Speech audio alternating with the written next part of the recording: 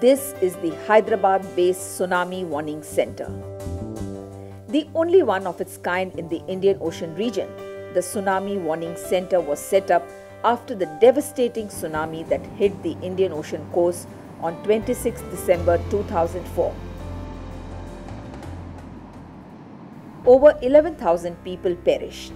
The 6,000 still missing are feared to be dead. Infrastructure worth billions of rupees was damaged. But this disaster had a lesson for India.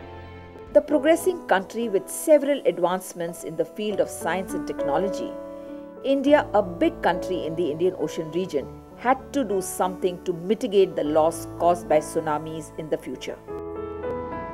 INCOIS, Indian National Center for Ocean Information Services, was chosen to house a world class tsunami warning center. The INCOIS mandate is to provide information related to ocean, which could be required by the general society or a government or industry or in the matter anybody, I mean. So, the tsunami warning center was to be set up. The INCOIS was a natural choice because INCOIS has already uh, started developing the systems to disseminate the information, generate the, use the data to generate the information. So, the basic uh, infrastructure was already existing. Only this was needed to be upgraded as a mission critical system because the other information is not very critical in the sense that if you do not provide either one day or two day because of certain reasons, no serious effect would be felt. There would be certain uh, economic or like that, but nothing, uh, people may not lose their lives or something like that. But this is a mission critical system. So, the large amount of redundancy is to be built in and it has to have a capability to process the data very fast. So, different kinds of systems are required, different kinds of softwares are required, different kinds of the entire process of a standard operating procedure which needs to be completely automatic.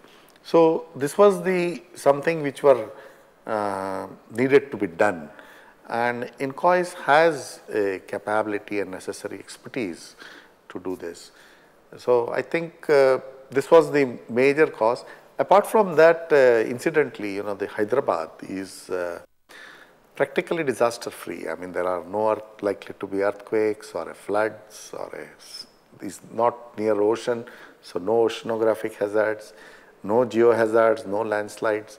So that way is a pretty safe from the disaster point of view. So that is another good uh, way of uh, good place to have a your disaster center so that it won't affected by any disaster. Nearly 400 million people live on the vast 7,500 kilometer coastal stretch. The Tsunami Warning Center was established with an aim to place early warning system for mitigation of oceanic disaster that may affect this large population. The Warning Center was established under the Ministry of Earth Sciences as the nodal ministry at a cost of rupees 1250 million rupees. This is being done in collaboration with the Department of Science and Technology, Department of Space and the Council of Scientific and Industrial Research. Functioning 24 by 7 all days of the year, the state of the art center equipped with necessary computational and communication infrastructure monitors all kinds of information from all strategically involved organizations and countries that can help predict tsunami. The idea is to give timely warnings. At the center, the major activity is acquisition of data, which is organized as database. With stress on getting quality data, the data is organized from different sources from the satellite, from the internet, and from the VSAT. The first input is monitoring earthquake. World over, the observation systems are the same. Hence, all earthquake related information pours in at this center constantly, both from the National Seismic Network, the Indian Meteorological Department, and other international seismic networks. Historically, red dots show earthquakes. Even as these pictures are being taken, earthquakes have hit different regions of the world. The entire world is dotted with sensors. Moving in the spirit of achieving better and faster scientific interventions to help humanity, INCOIS works in tandem with international agencies. Data is acquired from 300 stations. Since we are talking of an earthquake in the ocean floor, the data is also of different varieties seismic data, tide data, bottom pressure recorder data. The amount of data coming is very large. The beauty of the system is it efficiently takes in the data and immediately analyzes it. Thus, moving quickly from acquisition, the Tsunami Warning Center processes the data and the target is a bulletin that has to be issued at the earliest. Time being most crucial, the bulletin is issued in 5 to 15 minutes time depending on the complexity of the task. If the earthquake is of more than 6.5 magnitude on the Richter scale, the software automatically processes it through the 50,000 scenarios fed into the computer. The entire process is fully automated. There is no human intervention. Seismic stations show such pictures. The software SeisComP catches real-time data just like the heart pulse. Software is Hydra, which serves the redundancy purpose. This center has to run 24 by 7 and all the time you can't have experts sitting and manning the control room. So generally there would be a watch staff would be always there 24 by 7 and so the system should be such that first bulletin goes without any human intervention. Now that, that was the our goal and to do this there is large amount of sophistication required. First you have to acquire all the data, harmonize them into similar fashion and it should as soon as the data comes it should get processed. So any earthquake is noticed at the earliest. We have been able to do most earthquake within 5 to 7 minutes. So that is very good. Then once the earthquake is uh, located, we should be immediately able to find out its tsunamigenic potential. Now how to do this? For that you need to generate large amount of scenarios for different earthquake magnitude at different depths at different locations. The data coming in goes straight to the databases. The process has been so designed that within minutes the verdict is out whether the earthquake is tsunamigenic or not. If it is tsunamigenic, how much travel time will be taken to reach various places? If it is tsunamigenic, Arrangements are made for scientists and experts to reach the INCOIS center within 10 minutes. The expert verdict comes in the form of confirmatory bulletin, which is the second bulletin. In the meantime, more data is coming in.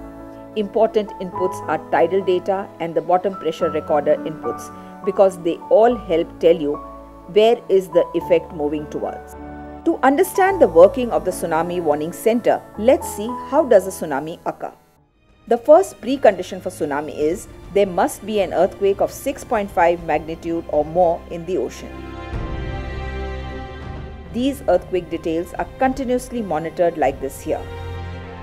The second crucial requirement is plate movement in the ocean floor must lead to vertical displacement of water. If it is displacement, then it will lead to a tsunami. The scenarios created are through mathematical modeling. If the earthquake is of 6.5 magnitude and above, the computer matches it with the scenario modeled for that. This calculation of travel time is done automatically. The energy produced by the earthquake and the displacement of water pushes water in the same direction. This direction can be calculated.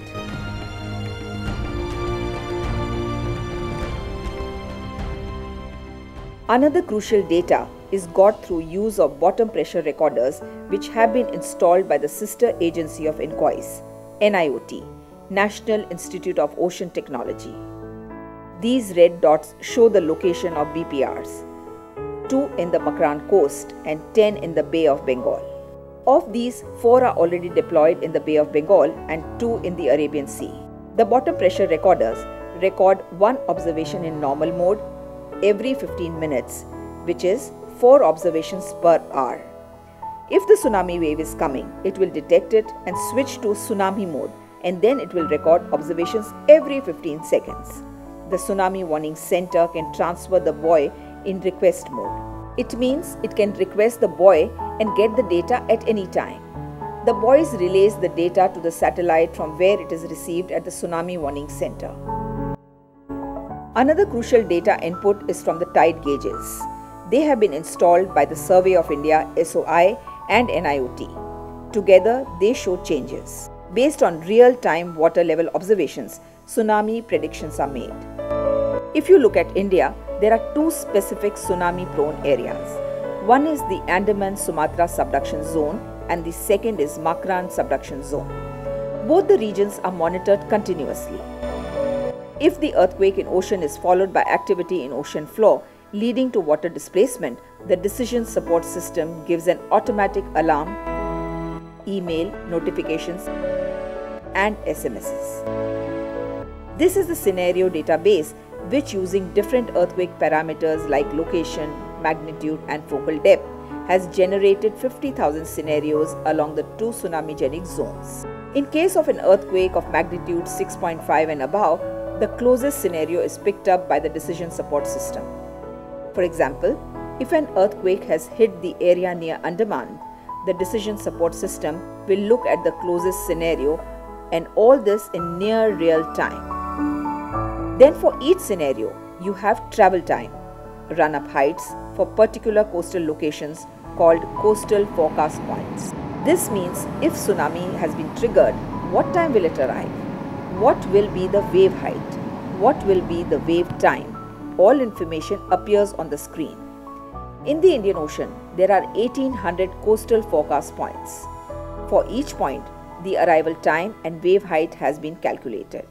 For instance, on September 12, 2007, after an earthquake of 8.4 magnitude hit the Java region, the tide gauge also showed 60 centimeters displacement of water at Padang. But the direction of the tsunami was calculated to be moving off the Indian coast. When it was seen that the wave energy moved southwest, then it was declared that India is safe and the watch given earlier was withdrawn. This was the first test for INCOIS and the Tsunami Warning Center after it was set up. Here the question is when should the public or administration be warned? If more than 2 meters of water is displaced, the areas will be placed under warning. Warning means evacuation is required. If the displacement is 0.5 to 2 meters, the regions shown by mathematical modeling should be put on alert. Alert means no evacuation is needed but beaches must be avoided because strong currents are expected. If the displacement is less than 0.5, the regions will be put under watch. Watch means official machinery and administration must be cautious and on standby. INCOIS follows a SOP, Standard Operating Procedure for Dissemination of Information. The Tsunami Warning Center also looks at specific details. For example, for particular coastal locations to get inundation levels by modeling, one needs high resolution topography and bathymetry data sets. After this input, the model gives inundation maps. The community level inundation maps are very useful for assessing the population and infrastructure at risk. ALTM, Airborne Laser Terrain Mapping Surveys, give data generated by NRSC, National Remote Sensing Center of ISRO. The entire range of communication method, ranging from timely reception of data from the sensors to the dissemination of information, is done through an end to end communication plan using the INSAT service. A high level redundancy has been built into the communication system to avoid single point failure. Another model helps get coastal vulnerability map of districts which are provided by the state administrations. This is the vulnerability map of Nagapattinam and this is of Cuddalore district. Both these names ring a bell as they sadly indicate the huge loss of life and property during the December 2004 tsunami. Once the earthquake information is generated, it is sent to the Ministry of Earth Sciences and the Ministry of Home Affairs.